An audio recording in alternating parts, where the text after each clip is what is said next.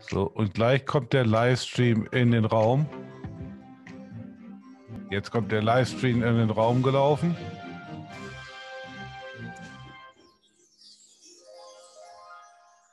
Ja. Hallo Michael. Hallo Tobias, schön dich zu sehen. Wir sind immer noch nicht live. Ich glaube, das Immer geht noch. heute nicht. Was heißt, dann zeichnen wir einfach nur Dann auf. machen wir eine lokale Aufnahme, genau. Richtig, so. Also das heißt, wir kommen jetzt noch mal so reingeschwebt in den Raum. Moment.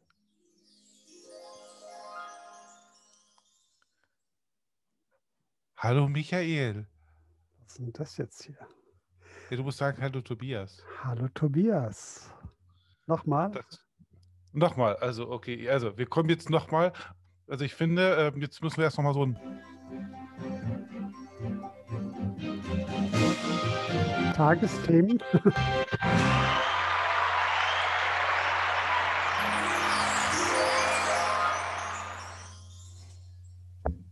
Hallo Michael. Hallo Tobias, schön dich Ja, zu sehen. schön. Freut mich auch, dich zu sehen. Äh, hier mal wieder im Gedankenflimmern. Diesmal, wir können gar nicht live streamen, weil Facebook kaputt ist.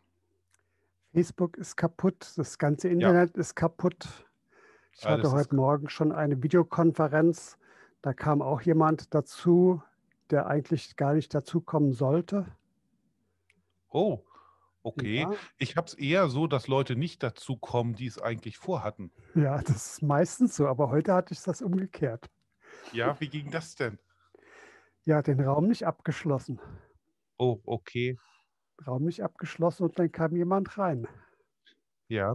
Ähm, lese ich in letzter Zeit ja auch recht häufig. Äh, ich bin ja in verschiedenen Facebook-Gruppen von Menschen drin, die sich auch mit Live- und Digitalformaten beschäftigen. Und da wird dann immer davon gesprochen, dass der Raum gehackt wurde, weil jemand auf den Link geklickt hat und reingekommen ist und man einfach keinen Warteraum installiert hatte oder den Raum nicht gesperrt hat. Genau, oder weil die Person, die den Host in einer Sitzung macht, wenn jemand in den Warteraum ist, einfach mal reinlässt. Ja, Auch Das das, dann- soll schon vorgekommen sein. Und dann wundert man sich, dass jemand da drinne ist, der eigentlich gar nicht drinne sein sollte. Ja, das, das, das passiert ja im Analogen ja Gott sei Dank nie, dass wenn man irgendwie in einem großen Sitzungsraum ist, dann plötzlich jemand in den Raum reinkommt, der sich einfach nur geirrt hat und da gar nicht dazugehört. Ne? Das ist der große Unterschied zwischen dem digitalen Sozialraum und dem physischen Sozialraum. Oh verdammt, Womit wir schon voll bei der Überleitung wären. Ja. Boah, Das ist klasse. nämlich mein Thema heute, ja, weil ich mir schon Gedanken darüber mache, was das eigentlich mit dem Sozialraum Internet zu tun hat. Also wir Ja. erleben ja immer wieder, ob das jetzt in der sozialen Arbeit ist, alle, alle Personengruppen, die eigentlich lokal arbeiten mit Bevölkerung, die kriegen immer den Auftrag, den Sozialraum zu erkunden. Ja, erkundet mal Mhm. den Sozialraum, guckt mal, was da für Menschen leben, guckt mal, was für ein Gebiet es ist. Ja, dann gibt es die Gebiete, für die es aus dem EU-Paket besondere Programme gibt. Aber alles ist immer auf den physischen Raum beschränkt. Ja, aber was ist denn eigentlich ein sozialer Raum? Ja, ein sozialer Raum, ich habe mich da mal ein bisschen reingelesen, ist eigentlich ein Raum, in dem Menschen in Beziehung miteinander treten. Deswegen heißt der sozialer Raum. So, und jetzt haben wir hier sowas wie das Internet.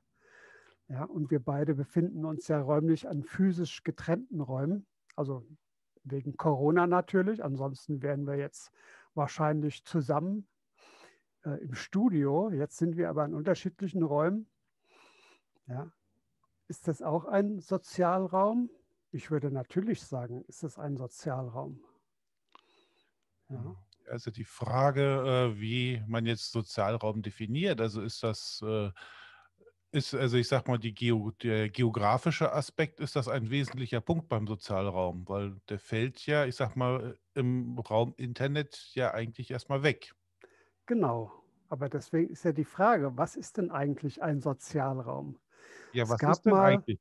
Es gab mal in der Landeskirche, in der wir arbeiten, eine, ein Buch für die Kirchenvorstände, in dem auch ein Kapitel über Sozialraumanalyse drin war. Und ich hatte damals angemerkt, man müsste eigentlich dort auch das Sozialraum Internet mit aufnehmen, weil die Menschen, die in einem physischen Gebiet wohnen, Kirchengemeinde oder auch, ja, ich sag mal, rund um ein Bürgerhaus oder um eine Einrichtung, sich ja auch in einem digitalen Raum bewegen und da ja, ja ein Stück weit auch Beziehungen eingehen. Ja, du bist ja jetzt äh, Soziologe, von daher ist das ja alles jetzt kein themenfremdes äh, Wording für dich. Aber was, was ist denn eigentlich Bestandteil, ich sag mal, von einer analogen Sozialraumanalyse? Dass wir mal wissen, worüber wir reden. Naja, stell dir mal vor, du arbeitest irgendwo in, einer, in einem Dorf oder in einem Stadtteil oder in einer Stadt und bist zuständig für die Menschen, die dort sind. Beispielsweise als Unterstützungsangebot. Du machst Lernhilfe ja, Lernhilfe für die Menschen, die rund um die Einrichtung wohnen. Ja, dann wäre es ja interessant zu erfahren, was wohnen da eigentlich für Menschen? Habe ich es hier eher mit Menschen zu tun, die, sag mal, vom formalen Bildungshintergrund her einen großen Bedarf haben? Beispielsweise Unterstützungsleistungen in Anspruch zu nehmen oder bin ich in einem Gebiet, wo, ich sage jetzt mal, 80 Prozent ähm, Abitur haben und bürgerliche Oberschicht oder Mittelschicht gebildet, dann muss ich mein, mein äh, Programm, das ich sozusagen anbiete, ja ändern. Das heißt, für diejenigen, die in einem Sozialraum professionell arbeiten, in welchem Bereich noch immer, ob das jetzt im Bildungssektor ist oder ob das in der sowas offene Jugendarbeit oder Sozialarbeit ist, die sollen sich und müssen sich in der Regel auch befassen mit dem physischen Raum, der sie umgibt. Mhm. Ja, weil dann musst du ja deine Angebote entsprechend auch äh, danach ausrichten. Wenn du in, in einem sozialen Raum, einem Ort wohnst, in dem, sag mal, viel Migrantinnen und Migranten sind, die möglicherweise einen Bedarf haben an sprachlichen Unterricht oder an sprachlichen Kontakten, ja, dann wird man ein anderes Angebot machen als in einem gutbürgerlichen Viertel. Ja. ja. Und das zu analysieren, in welchem physischen Raum mache ich meine Angebote, das nennt man Sozialraumanalyse. Ja, das können ja Wirtschaftsdaten sein, das können Altersgruppen sein. Ja, Im Ort, in dem es einen 15-Jährigen gibt und ansonsten wohnen dort Menschen über 40, ja, weil hm. es eine Seniorenwohn- Siedlung ist, alle Jungen sind abgewandert, nur noch ein 14-Jähriger da, macht es ja keinen Sinn, äh, sag mal, ein Angebot der Jugendarbeit zu eröffnen. Ja, da, hm. diese Orientierung an dem sozialen Raum und dessen, was da passiert, das nennt man Sozialraumanalyse, eine Abstimmung. So, und jetzt hat man ja aber, wie du richtig gesagt hast, in diesem Internet ja nicht wirklich so einen physischen Raum sondern es ist ein digitaler Raum. Wenn man jetzt ja, Bildungsangebote macht, genau, muss man ja auch wissen, ja von wem. Für wen macht man das dann? Genau, weil du sagtest ja vorhin, es ist ja Bestandteil der Sozialraumanalyse auch zu schauen, okay, was für Leute ich dort habe, ähm, was für Leute ich dort erreiche. Aber das ist ja äh, online gesehen oder im Internet doch auch eine, Perspe äh, eine Perspektive ich sage jetzt mal, meiner Blase, wo ich mich bewege oder äh, ich sage mal von meinen, man könnte es natürlich jetzt auch ein bisschen provokanter sagen, von den Algorithmen, die bestimmen, mit welchen Personen ich im Internet auch zu tun habe und welche ich über soziale Netzwerke zum Beispiel auch sehe. Ja, oder sagen, ich möchte bestimmte Personen erreichen. Ja, und danach wirst du ja, wenn du jetzt so ein Angebot im Internet machst, wirst du ja dein Angebot, wenn du eine bestimmte Personengruppe im Visier hast, als Zielgruppe definierst, wirst du ja dein Angebot auch danach ausrichten. Das heißt, wenn ich jetzt alle Cosplayerinnen und Cosplayer in Deutschland ansprechen möchte mit einem Angebot, ja, dann wäre es blöd, einen Videokanal zu machen, der sich beschäftigt mit Tiefseefischen. Ja, das wäre, also ich würde meine Zielgruppe nicht erreichen. Ja. Ja. Aber auf der anderen Seite kann ich das ja auch doch dann lokal begrenzen, wenn ich jetzt sage, ich habe diese Zielgruppe Senioren bei uns im Ort, verlagere dann aber auch nur die Inhalte ins Internet äh, anstelle dann eben ins Gemeindehaus. Genau, aber da auch wieder wichtig zu fragen, was braucht man, wenn man das sozusagen digital macht? Was hm. braucht man da? Also wenn ich mit Senioren arbeite, sage jetzt mal, ich bin eine Senioreninitiative in einem Stadtteil und meine Zielgruppe sind Seniorinnen und Senioren 55 plus oder 60 plus, ja, und ich kreiere mein räumliches Angebot in einem Stadtteil, ja, dann achte ich darauf, wie ist die Einrichtung, wie ist die Begehbarkeit, äh, wer sind Ansprechpersonen, was für Themen biete ich an. Ja, wenn ich jetzt ein Angebot im Internet mache, muss ich mich ja mit den Fragen auch beschäftigen. Also erstens, wie erreiche ich denn meine Zielgruppe? Hm. Ja, bei, einem, bei einer physischen Einrichtung macht es ja, wie du vorhin gesagt hast, einen analogen Raum, machst du die Tür auf, schreibst Öffnungszeiten dran, machst einen Angebotszettel draußen im Schaukasten und machst, gibst es vielleicht noch in die örtliche Presse und dann wissen oder können die Leute wissen, da gibt es was, dann können die da hingehen. Aber im digitalen Raum hast du das ja erstmal nicht. Wie kriegst du dein Angebot zu den Leuten? Ja, aber kann ich nicht auch, ich sag mal, ähm, die Werbemittel ähnlich des analogen Raumes auch nutzen und dann sagen, okay, das Angebot findet jetzt eben nicht hinter der Tür statt, sondern eben online unter www.irgendwas.de ja, natürlich kannst du das machen. Du kannst beispielsweise Werbung schalten. Ja. Ein Beispiel bei dem Fratzenbook. Bei Facebook kannst du ja relativ genau sagen, in welchem Umkreis, welche Zielgruppe möchtest du ansprechen. Ja, dann erreichst du diejenigen, die bei Facebook sich informieren oder sich über Facebook die Information kriegen. Du kannst es natürlich auch ganz klassisch machen mit Handzettel. Du kannst auch die Presse nutzen, aber du musst ja auf der anderen Seite auch wissen, ja, sind die Leute in der Lage, diesen Raum, diesen digitalen Raum aufzusuchen? Gibt es die technische Ausstattung? Wir hatten, wenn du dich erinnerst, in einer unserer Sprechstunden ja auch eine Kollegin, die Seniorenarbeit machte, die sagte, ich habe ja auch ganz viele Leute da, die nicht viel Geld haben. Ja, die mhm. haben kein neues Smartphone oder kein Tablet zu Hause. Wie erreiche ich die denn? Ja, und dann muss man sich eben beschäftigen mit der Frage, wie erreiche ich die eigentlich? Ja, und das sind, so, das sind so Fragen, die gehören eben auch mit zur Analyse, zu einer Sozialraumanalyse. Welche Ausstattung haben eigentlich die Menschen, die ich erreichen will? Haben sie überhaupt die Ausstattung? Und da muss ich sie einfach vielleicht fragen. Also auch ein Bestandteil der Sozialraumanalyse im physischen Raum ist ja, dass du Befragungen machst oder es gibt ja verschiedene Möglichkeiten. Mhm. Ja, das musst du auch für deinen digitalen Raum machen. Ja, die Frage, die sich so immer wieder äh, an mich herangetragen wird, ist, ja, Herr Grunewald, inwieweit muss ich mich denn mit diesem Internet beschäftigen? Und ich sage, man muss sich damit nicht beschäftigen. Aber wenn man bestimmte Personengruppen erreichen möchte, also bei Corona merken wir das ja jetzt gerade ganz stark, dass eben es nicht mehr aufreicht, äh, auf, äh, ausreicht, die Tür aufzumachen und einen Zettel dran zu machen, mhm. weil jetzt vielleicht gar niemand mehr kommt. Ja, aufgrund von Kontaktbeschränkungen und so weiter und so fort, dass man dann überlegen muss, wie kann ich das denn digital organisieren.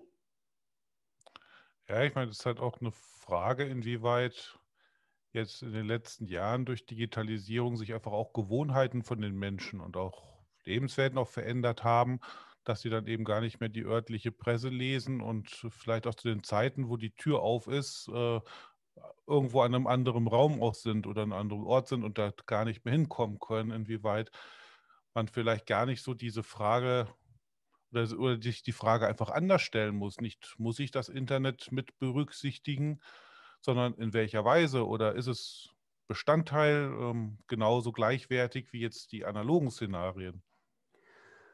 Naja, für mich wäre immer die, Grund, die Grundfrage, will ich das? Ich würde jemanden, der sagt, ich will gar nicht in dieses Internet, würde ich jetzt auch nicht empfehlen, gehen Sie, machen Sie ein Angebot. Ja. ja. Sondern da würde ich eher sagen, machen Sie mal so einen Schnupperkurs, ja, also ein Passiv Kurs. Gucken Sie mal, was da ist. Ich habe mal ein Beispiel gemacht. Also ich wohne ja in einer Stadt, in der gibt es ein Diakoniekrankenhaus und dieses Diakoniekrankenhaus hat im vergangenen Jahr, nee, im, im Jahr davor eine Kinder, eine Krippe aufgebaut im Eingangsbereich der Diakonie. Und diese Krippe wurde von den Schwesterschülerinnen und Schülern äh, gestaltet und die haben das sehr modern gemacht mit Einkaufswagen und leeren Cola-Dosen und so weiter. Haben also Themen aufgegriffen da gab es dann in der Facebook-Gruppe eine Diskussion über diese Krippe, über das, was die Pflegeschülerinnen und Schüler äh, da gemacht haben. Ich fand die Diskussion sehr spannend, ja, weil sie sehr viel auch über die Bevölkerung und über die Nutzerinnen von Facebook und mhm. verraten. Aber wer zum Beispiel gar nicht, sich gar nicht beteiligt hat, war die äh, die Landeskirche in dem Fall oder die örtliche Kirche, die hat sich überhaupt nicht beteiligt. Und da sage ich, das wäre doch für eine Organisation, die von sich sagt, wir sind für einen sozialen Raum da, wäre das doch ein fantastischer Punkt gewesen, sich zu positionieren, in Kontakt zu treten, zu kommunizieren. Okay. Und woran denkst du, woran oder woran liegt das, dass die Landeskirche sich nicht beteiligt hat? Naja, es gibt Berührungsängste es gibt oftmals, also mein, das, was mich sozusagen an mich herangetragen wird, ist oftmals die Angst davor, etwas äh, heraufzubeschwören, was man dann nicht mehr bändigen kann. Also, dass man letztendlich einen Shitstorm, wie das so im Internet heißt, so einen Shitstorm abbekommt. Ja. ja. Und ich glaube, diese Angst, diese Angst, die Kontrolle zu verlieren über das, was da in dem digitalen Raum passiert. Also beim Analogen können wir ja jemanden rausschmeißen. Ja, da ist jetzt jemand, der stört. Ja, und Ihre Meinung möchte ich hier gar nicht hören. Ich bitte Sie, den Raum zu verlassen. Ja, das können wir sozusagen vom Hausrecht Gebrauch machen. Das ist aber im digitalen Raum schwieriger. Nicht ja, unmöglich, aber heißt, schwieriger. Heißt das, wir sind zu kontrollfixiert oder fokussiert? Ja, in vielen Bereichen sind wir das, ja, würde ich sagen. Die, die Angst davor, dass die, dass das, was man in dem äh, Sozialraum Internet macht, negative Auswirkungen hat, ja, ist so groß, dass man sagt dann lieber gar nicht. Aber kann denn nicht das gar nicht eine negativere Auswirkung sein, als dass man vielleicht was falsch macht? Äh, ja, natürlich. Weil letztendlich, Klar. du sagst, aufgefallen ist es dir jetzt ja nur, weil überhaupt keine Beteiligung kam. Nicht, weil eine genau. negative Beteiligung kam, genau. sondern weil gar keine kam. Und genau. das war jetzt erstmal das negative Bild, was entstanden ist bei dir. Genau, das ist ja genau der Punkt, von dem ich sage, da ist eine verpasste Chance auch. Mhm. Also wenn man den Anspruch hat, in die Öffentlichkeit zu wirken, ja, für den Sozialraum da zu sein, dann sollte man sich da nach meiner Auffassung auch nicht raushalten. Ja, die Frage ist immer, in welcher Form tut man das? Und ich habe zum Beispiel einer Kollegin geraten, bevor sie sich jetzt äh, in den Sozialraum, in den physischen Raum begibt mit einem, mit einem Internetauftritt, ja, oder sich über Instagram oder Facebook oder Twitter zu Dingen äußert, die den physischen Sozialraum betreffen, in dem sie arbeitet, ja, sollte sich zumindest darüber Gedanken machen, a, was gebe ich preis in diesem Sozialraum, also wo sind auch meine Grenzen und b, was sind meine Unterstützungsstrukturen, wenn mal wirklich was schief läuft. Also ich äußere mich ja, zu irgendwas und dann bekomme ich einen Shitstorm ab. Ja, das wird ja immer wieder erlebt, dass das so passieren kann in diesem Raum, weil er eben ein Stück weit unkontrolliert ist. Ja, was habe ich dann im Hinter, in der Hinterhand, um mich sozusagen dann auch A, beraten zu lassen oder auch gegenzusteuern? Ja, aber ich, ich, ich, vielleicht ist das ja auch nur eine, eine Sache der Wahrnehmung, weil letztendlich, wenn ich in einem analogen Raum bin und etwa, und ich sag mal, in diesem Raum 100 Leute sind, ich etwas sage, was nicht passt, dann löst das ja erstmal den gleichen Unmut bei den Leuten aus, als wenn ich in einer Facebook-Gruppe was äh, veröffentliche, wo das auch, ich sag mal, 100 Leute lesen. Der Unterschied ist ja nur, dass, äh, ich sag mal, im digitalen Raum die Leute wahrscheinlich eher geneigt sind, ihren Unmut zu äußern und den zu verbal, also, ja, also schriftlich auch zu verbalisieren, dass ich eben auch sehe, den, den Unmut auch sehe, wie er auf mich zukommt. Oder denkst du, da ist ein Unterschied? Ich glaube, da ist ein Unterschied. Also gerade wenn man offene Formate im Internet hat. Also wir haben jetzt zum Beispiel hier über Zoom ein offenes Format, wo andere Leute sich mhm. einwählen können. Heute wahrscheinlich nicht. Aber äh, ich habe ja jetzt gerade gelesen, in Berlin gab es massive Störungen von Gottesdiensten, online abgehaltenen Veranstaltungen, die organisiert waren von Menschen, die mit der Haltung der Kirche zur Flüchtlingsfrage nicht einverstanden sind. Okay, ja. wie sah die aus, die Störung? Das kann ich dir im Einzelnen nicht sagen, weil ich ja nicht dabei war und sozusagen nur die Schilderung könne. Aber wenn man, ja, das wissen wir ja auch, zumindest kann ich mich noch erinnern aus meinen Anfängen der äh, politischen Beteiligung, dass es so etwas gab wie Störung im analogen Raum. Wir verabreden uns um eine Veranstaltung. Ich weiß, damals war es eine Veranstaltung in Rüsselsheim mit Helmut Kohl. Und wir haben uns verabredet, ungefähr 30, 40 Leute, dass wir in diese Veranstaltung reingehen und stören. Mhm. Ja. Das hat aber für uns zur Folge gehabt, erstens, ähm, dass wir organisieren mussten, Anreise, Abreise, was tun, wenn, ja, äh, Polizei oder sonst irgendwas, was, also wie gehen wir damit um? In so einem digitalen Raum, wenn der offen ist, kannst du einfach reingehen. Ja, vielleicht wirst du geschmissen, das wäre sozusagen das Einfachste, zu sagen, ich banne jemanden aus einem Digitalraum. Aber in manchen Räumen kannst du das nicht. Ja, und ja. es ist keine große, es ist keine große Organisation mehr. Man kann sich verabreden, man muss nicht mehr anreisen, man kann, ein Klick reicht, um eine Veranstaltung zu stören. Hm, ja, jein. Also ähm, ich habe von diesen Störungen in den Gottesdiensten auch mitbekommen und ähm, ich weiß nicht, ob das diese waren oder andere Gottesdienste. Äh, ich sag mal, und da war einfach das Problem einerseits, dass die Bildschirmfreigabe erlaubt war und auch die Annotation, also dass wenn vorne was freigegeben wurde, jeder das irgendwie kommentieren konnte und dann Hakenkreuze einfach auch mit reingemalt wurden und so weiter. Vielleicht war das auch ein anderer Gottesdienst, aber das sind ja alles technische Geschichten, die kann ich als Veranstalter, kann ich das ja regulieren, kann ich auch deaktivieren. Das heißt, das ist ja einfach nur eine, eine Sache der Einstellung. Und ich überlege jetzt einfach gerade mal, was du sagst, hat natürlich vollkommen, äh, ist natürlich vollkommen richtig bei asynchronen Veranstaltungen. Das heißt, wenn äh, ich sage mal in einer Facebook-Gruppe, Social-Media-Gruppe die Leute einfach dazuschreiben können, aber das ist ja keine Störung der Live-Veranstaltung.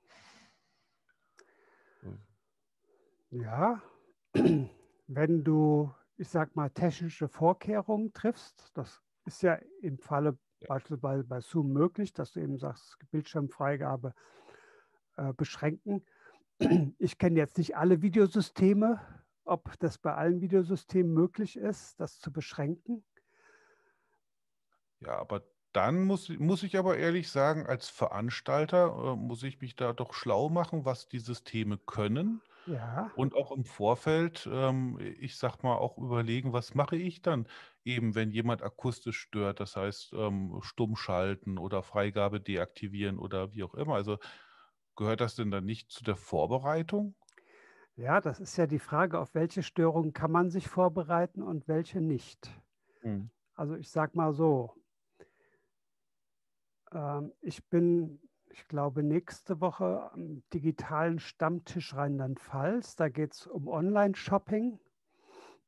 Und ich könnte natürlich jetzt auch mich mit zehn anderen Leuten verabreden. Meldet euch da auch an. Und wenn wir denn drinne sind im Raum, weil wir ja angemeldet sind, über eine Fake-E-Mail-Adresse, das ist ja möglich, dann könnten wir tatsächlich in diese Veranstaltung reingehen und stören.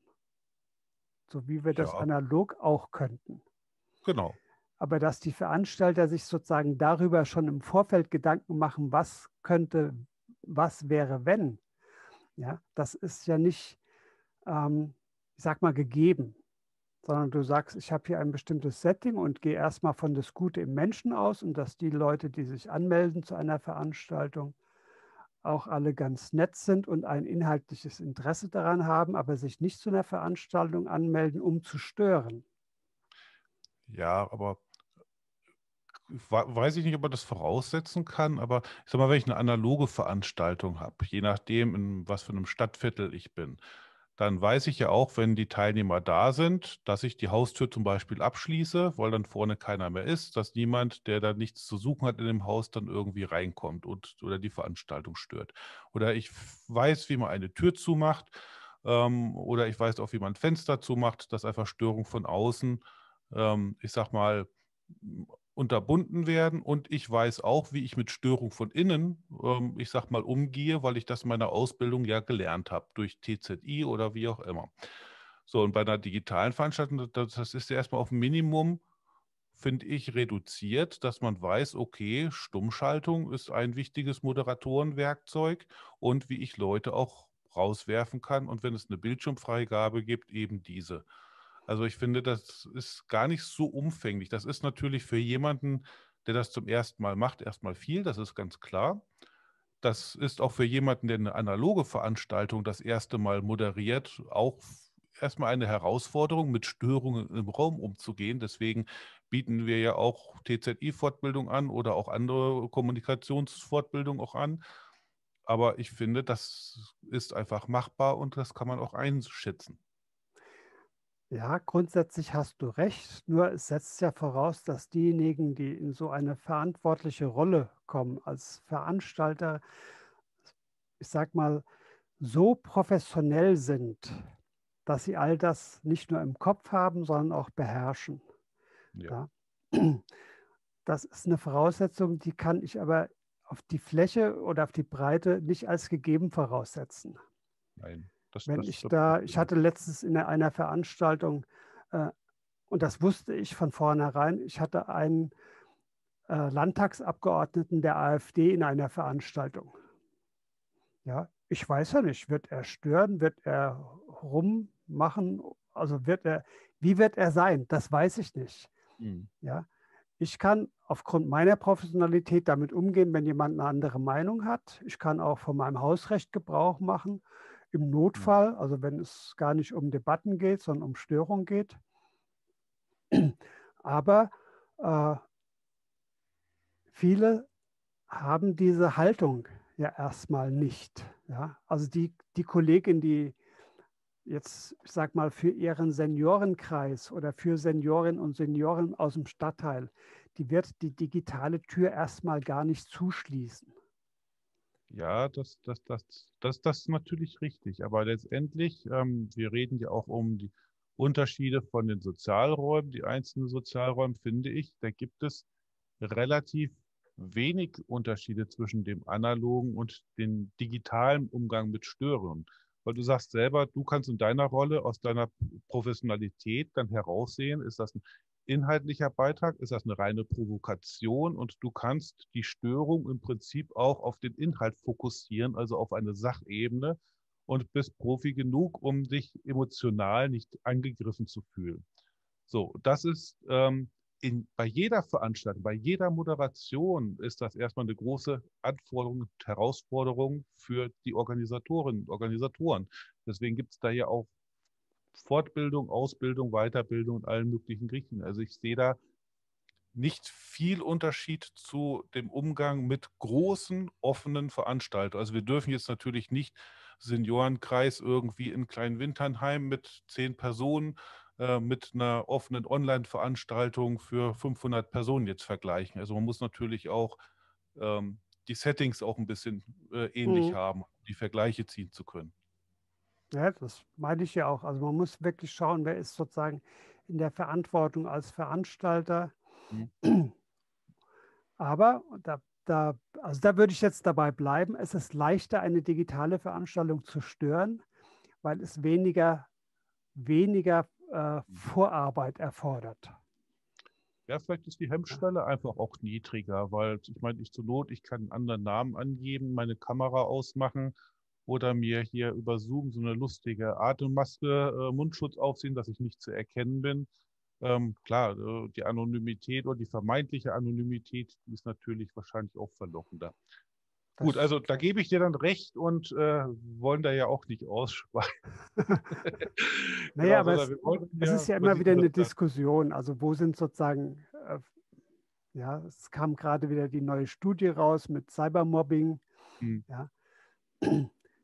Klar, dieses Internet ist gibt es, und das finde ich positiv, also persönlich finde ich das positiv, es ist niedrigschwelliger, was Beteiligung angeht. Ja, ja? natürlich.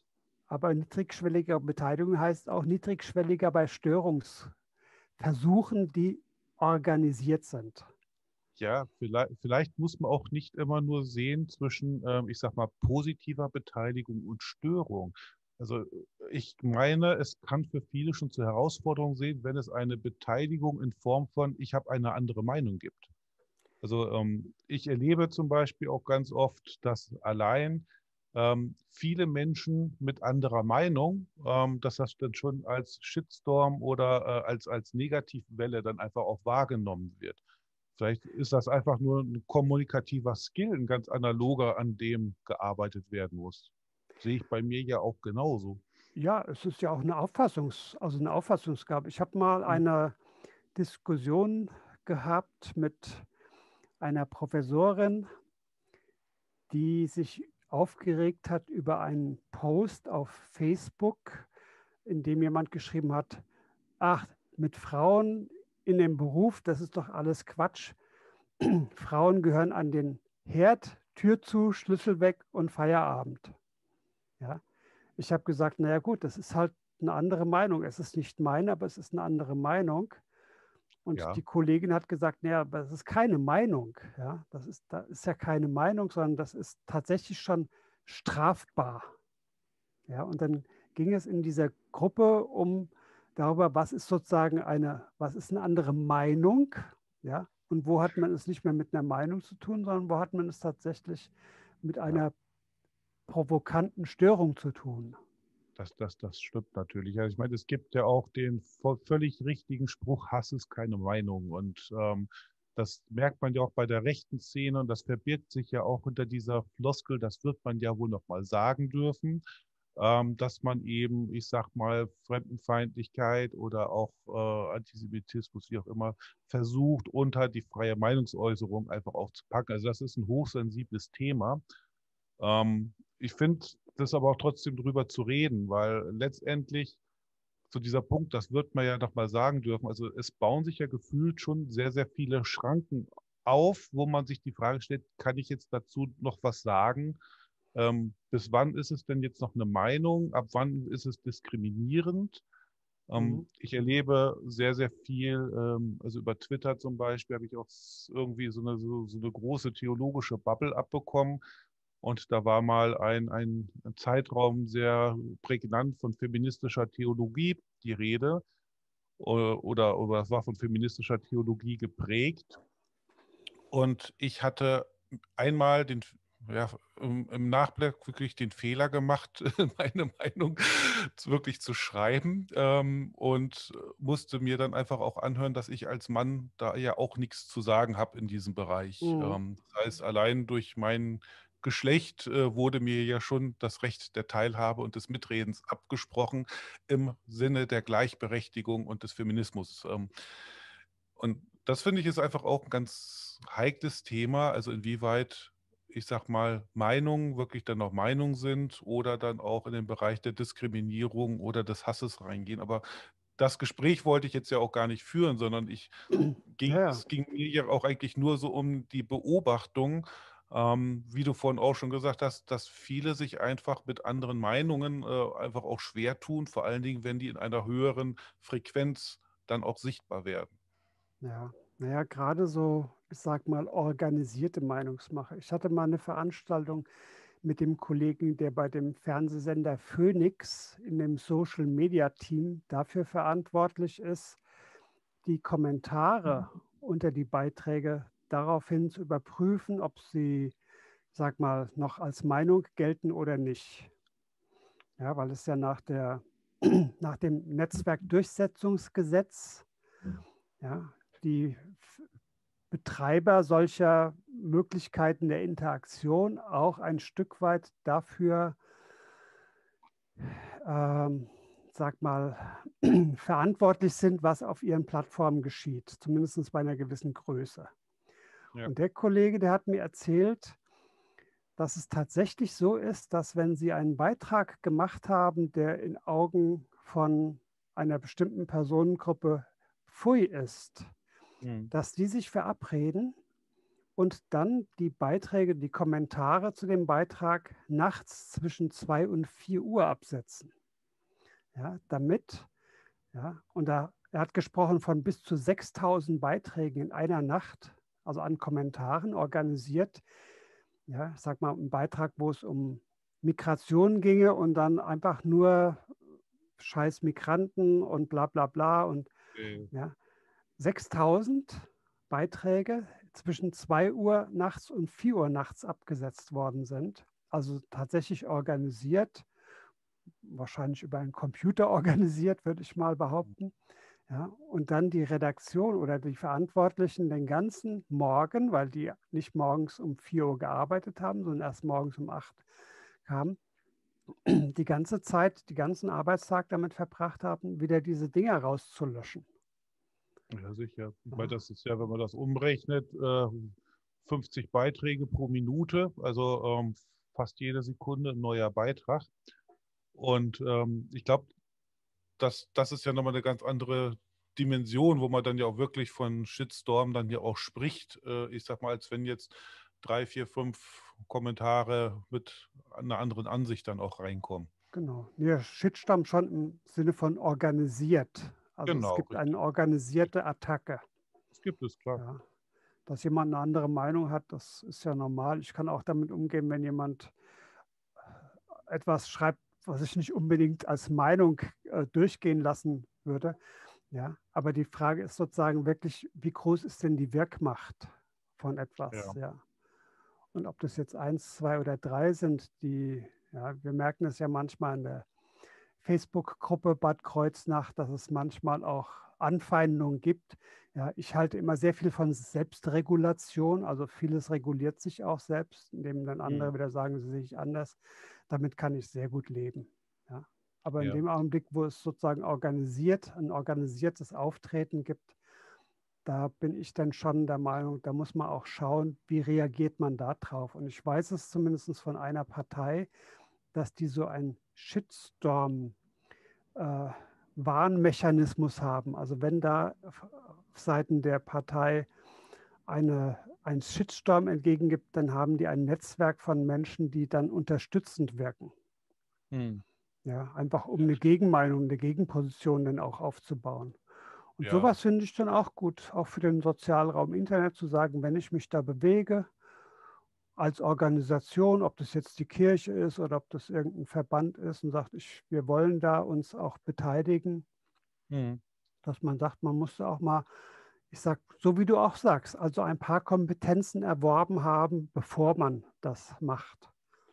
Ja, ich meine, klar, so die, diese Initiativen, wie jetzt auch ich bin hier oder wie auch immer, die gibt, die gibt es ja, die sind auch sehr gut. Ähm, ich möchte den Fokus jetzt aber doch mal so auf das Thema äh, deines Sozialraumes Internet noch mal so ein bisschen zurückführen, weil das alles, worüber wir jetzt gesprochen haben, lässt ja anmuten, dass dies ein sehr ähm, anforderungsreicher Raum ist, wenn man kompetent oder auch, ich, ich sag mal, möglichst sicher, wie man immer so schön sagt, äh, sich darin bewegen will und den berücksichtigen will. Ist es dann nicht verständlich, weil du sagst ja auch, jemand, der sagt, ich will im Internet eigentlich mich nicht bewegen, dass man den auch nicht zwingen sollte. Ähm, wo ist denn so dieses, oder wie weit geht denn dieses Spagat zwischen nicht wollen und doch eigentlich müssen, aber sich dann doch mit so einer, mit so einer negativen ein, ja, Prinzip Einschätzung oder negativen, mit einem negativen Image äh, dann auch auseinanderzusetzen? Naja, oder ist das nicht so schlimm? Naja, die erste Frage, die ich ja stellen würde, ist, äh, also warum nicht wollen? Warum hm. nicht wollen? Wenn man in der Funktion ist oder wenn man in einer Rolle ist, die auf einen physischen oder auf die Arbeit mit Menschen in einem physischen Raum abgestellt ist. Ich nehme jetzt mal einen Gemeindepfarrer oder eine Gemeindepfarrerin. Ja. ja der sagt, ich habe da einen, einen physischen Raum um mich herum und ich habe einen Auftrag, einen dienstlichen Auftrag, mit den Menschen auch in Kontakt zu treten, auch bereit zu stehen für Seelsorge, für Beratung, für Unterstützungsleistungen. Ja, dann sage ich, was hindert dich daran, sozusagen zu erkennen, dass die Menschen, die in deinem physischen Raum sind, sich auch in einem digitalen Raum bewegen? Beispielsweise in so einer Facebook-Gruppe des Ortes. Ja, ähm, ich glaube, das ist so gar nicht das Problem, weil du sagst jetzt, was hindert dich daran zu erkennen? Ähm, was ist denn, wenn das schon erkannt wird, aber einfach die Auffassung da ist, dass du diese richtigen Gespräche und die Beratung, ähm, auch die Seelsorge, dass das vor Ort, also physisch stattfindet und eben nicht digital? Weil du weißt schon, so das mit dem Anfassen und Gegenüber. Ja, ja ich kann das ja nachvollziehen. Also ich kann es ja sehr gut nachvollziehen, weil mir gefällt es auch besser, mich mit dir physisch in einem Raum zu unterhalten und dann können wir mal die Kaffeetassen anstoßen. Weil wir dann frühstücken können, ja. Weil wir zum Beispiel frühstücken, finde ich auch besser, ja. Ja auf, auf der anderen Seite, auf der anderen Seite erlebe ich ja, dass ich A, damit auch nur die Menschen erreiche, die physisch mit mir Kontakt suchen. Es gibt ja aber auch Menschen, die suchen diesen physischen Kontakt gar nicht. Ja, oder ich war mal, ihn gar nicht aufnehmen. Ich war mal in einer Kirchengemeinde als Referent, als es um die Corona-App ging, ja, und mhm. in diese online stattfindende Veranst Abendveranstaltung kam eine über 80-jährige Frau, die diese Gemeinde noch niemals gesehen hat. Die Pfarrerin und der Pfarrer kannten diese Frau nicht ja, und haben festgestellt, dieser Raum ermöglicht es uns auch Menschen, mit Menschen in Kontakt zu treten, die sonst physisch mit uns keinen Kontakt haben, weil sie beispielsweise gehbehindert sind und gar nicht kommen können oder weil sie sagen, das ist nicht so mein Ding mit dem persönlichen Dahingehen.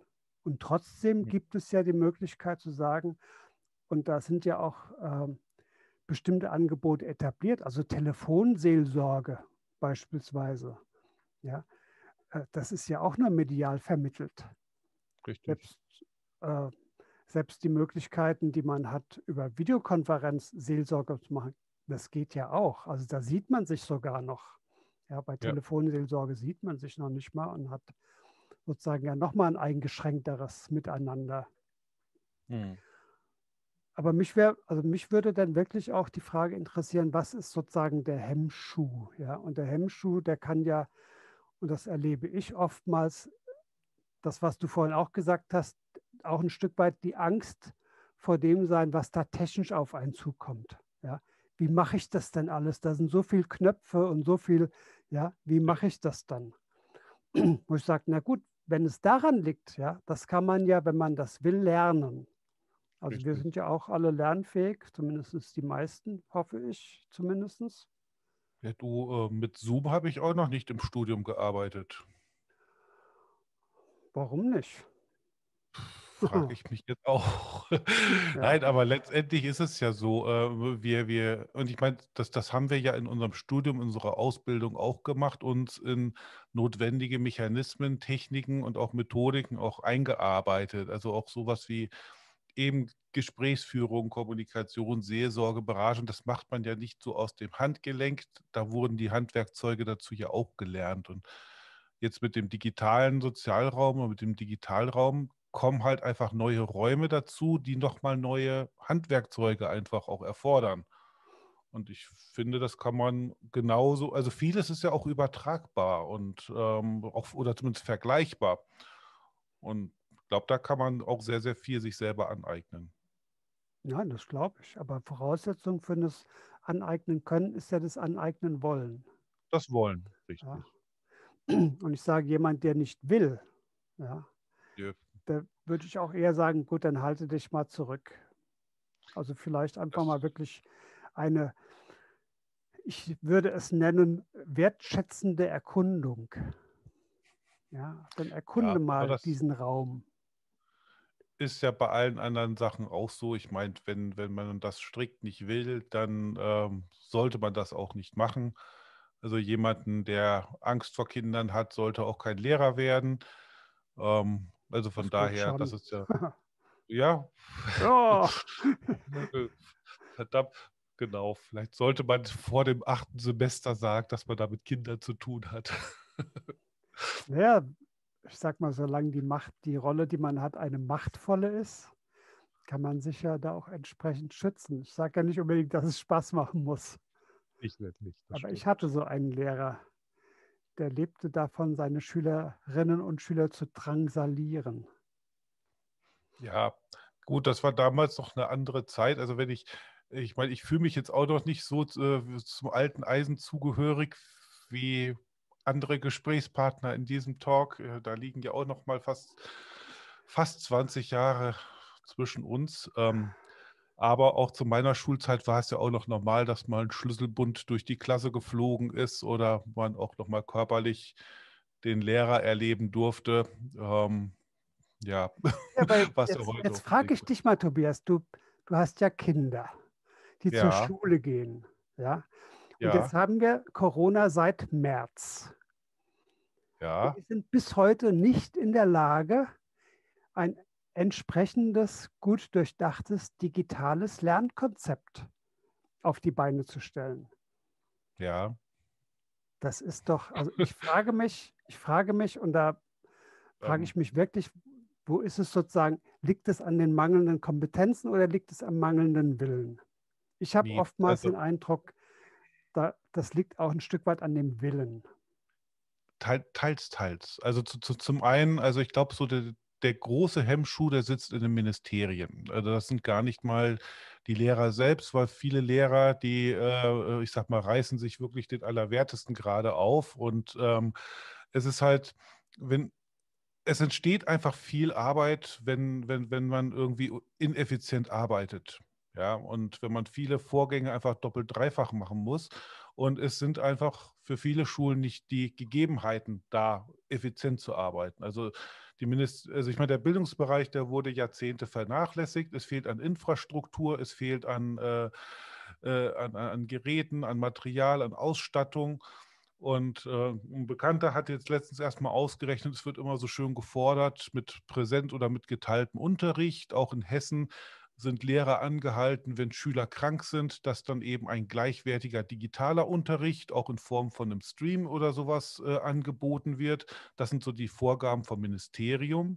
Und er hat dann einfach mal vorgerechnet bei einer Schule von ein paar tausend Schülern und wie viel X Klassen, was man eigentlich für eine Ressourcen bräuchte, wenn jeder Unterricht live über eine Webcam mit Video und Audio gestreamt werden würde. Das wäre technisch gar nicht umsetzbar. Und da fehlt es eigentlich nicht an Technik, sondern es fehlt auch an ähm, ja, Methodiken oder an Konzepten, in inhaltlichen Konzepten, dass zum Beispiel immer noch gedacht wird, geteilter Unterricht bedeutet, dass die Schüler von morgens von 8 bis 13 Uhr zu Hause vor dem Computer sitzen und sich einen Livestream angucken. Warum kann man nicht schauen, zum Beispiel neue Formen von Unterricht, irgendwie Projektarbeit, selbst eingeteilte Arbeit in Teams, die sind für eine Woche für was verantwortlich und können was machen. Jedenfalls, ähm, es ist ein Thema, da, da, können wir stundenlang drüber reden. Ja, aber ähm, weißt ja, du, das, das, ist doch genau das, wo ich denke, ja, jetzt haben wir einen Sozialraum Schule. Ja, natürlich. Aber Sozialraum Schule ganz analog. So, und jetzt, wie kriege ich den sozusagen digitalisiert? Was kann ich da, was kann ich da tun? Und da tut ja. sich, das ist so ein bisschen meine also auch mein wütender Blick darauf, da tut sich nichts. Nee, weil ich finde, das ist ein Bereich, da muss es klare, strikte auch Vorgaben auch geben und auch Anweisungen. Ich meine, Lehrerinnen sind in, in der Regel äh, verbeamtet und da muss es auch, also nicht alle, aber da muss es auch ganz klare Vorgaben geben, so ist das zu machen. Und es kann nicht sein, dass jeder Lehrer, jede Lehrerin sich irgendwie ihr eigenes Süppchen kochen muss und äh, ich sag mal einen eigenen Dienst suchen, erstmal recherchieren muss, was kann ich denn da überhaupt nutzen und dann nutze ich vielleicht ein Padlet und dann nutze ich vielleicht auch Zoom, weil es irgendwie technisch funktioniert Und dann beschwert sich irgendwie ein Elternteil, ja, aber der Datenschutz und dann gehen alle zu Microsoft und nutzen Teams. Da kann ich dann auch nur den Kopf schütteln. In Berlin zum Beispiel. Datenschutz. Genau, ja, richtig. Also ich kann nicht, kann nicht verstehen, dass man wegen Datenschutz einen Dienst nicht nutzt und dann Microsoft, äh, aber auch wieder anderes Thema. In Berlin zum Beispiel, da hat ein Direktor, das habe ich jetzt letztens gelesen, der hat die Konsequenz gezogen. Also die haben zuerst ein Konzept entwickelt, die haben mit Padlet gearbeitet, die haben mit, äh, auch mit, äh, mit Teams oder mit Zoom gearbeitet und dann haben die irgendwie vergessen, sich von den Eltern noch mal eine Einwilligung über Padlet einzuholen. Also es hat grundsätzlich funktioniert. Aber es war dann natürlich einer da, der sich dann bei der Senatoren- oder Datenschutzbeauftragten dann äh, beschwert hat. Dann gab es von der Stelle oben drüber vom Ministerium dann einen, äh, einen offiziellen Verweis dafür, eine Abmahnung, bis dann irgendwann die Schule gesagt hat, okay, solange wir hier keine Vorgaben kriegen, solange wir hier keine Ressourcen zur Verfügung gestellt bekommen haben, stellen wir digitalen Unterricht komplett ein. Wir drucken alles aus und die Eltern müssen morgens herkommen und das abholen, das Material, und dann wieder bringen. So. Und das ist, finde ich, ja, ich, ich, ich finde es eigentlich gar nicht so verkehrt. Vielleicht sollten einfach, nee, vielleicht sollten die Schulen jetzt einfach mal streiken, die Lehrer, bis es wirklich, äh, wenn, wenn, wenn sie es dürften. Ja, ich weiß, Beamte. Ja, äh, ja, Beamte dürfen ja gar nicht streiken, davon mal abgesehen. Ähm, aber ähm, bis, bis, bis sich auf der Seite der, der Ministerien äh, einfach mal was tut. Und ich finde einfach, allein die Tatsache, zwischen März und jetzt die Erkenntnis oder das Ergebnis der Taskforce, der Ministerialen, Lüften und Maske tragen, das ist ein Hohn. Das ist ein blanker Hohn. Mehr ist das nicht. Das ist Hinhaltetaktik, das ist, das ist Verweigerungstaktik. Ja, dann wird gesagt, Schulen werden bis zum Schluss äh, aufgelassen, werden nicht geschlossen. Natürlich nur, dass die Wirtschaft funktioniert und damit angeblich die Eltern entlastet sind und dann bringen die ins Gespräch früher Ferien. Was ist denn bitteschön der Unterschied zwischen Schule zu machen und früher Ferien? Also in beiden Fällen muss ich als arbeitendes Elternteil doch gucken, dass ich die Kinder betreue. Also das ist wirklich ein blanker Hohn und mehr fällt mir dazu nicht ein. So. Ja, es wir sind ja unter, unter uns. genau. Ohne diesen Sozialraum. Ja, das ist mir natürlich auch aufgefallen. Also diese frühe, frühere Ferienregelung, aber wir machen die Schulen nicht zu. Und diese, ich sag mal, nach außen vorgetragene Argumentation, wir machen das ja, um die Schülerinnen und Schüler zu schützen vor der ganzen Konflikten, die es da jetzt in den Familien gibt und Gewalt gegen Frauen und Kinder, die zugenommen hat. Ein bisschen vorgeschobene Gründe, glaube ich. Ja. Natürlich. Ich glaube letztendlich, und das stelle ich immer, also meine Wahrnehmung, es ist, ich sag mal, durchhalten, durchhalten, durchhalten. Es ja. wird auch schon wieder irgendwann. Wir hoffen bald. Jetzt hoffen sie für den ja. 10. Januar.